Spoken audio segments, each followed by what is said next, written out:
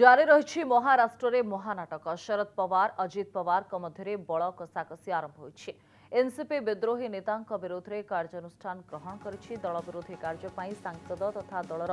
କାର୍ଯ୍ୟକାରୀ ଅଧ୍ୟକ୍ଷ ପ୍ରଫୁଲ୍ଲ ପଟେଲ ଓ ସାଧାରଣ ସମ୍ପାଦକ ସୁନୀଲ ତଟକରେଙ୍କୁ ଦଳରୁ ବିଦା କରାଯାଇଛି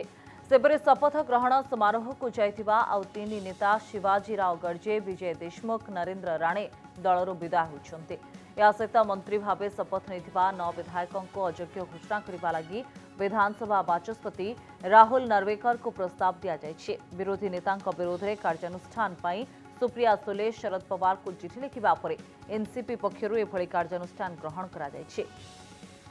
ଅନ୍ୟପଟେ ପାୱାରଙ୍କ କାର୍ଯ୍ୟାନୁଷ୍ଠାନର କିଛି ସମୟ ମଧ୍ୟରେ ପୁତୁରା ଅଜିତ ପୱାର ଏନ୍ସିପିର ନୂଆ ଟିମ୍ ଗଠନ କରିଛନ୍ତି ସାଂସଦ ସୁନୀଲ ତଟକରେଙ୍କୁ ମହାରାଷ୍ଟ୍ର ପ୍ରଦେଶର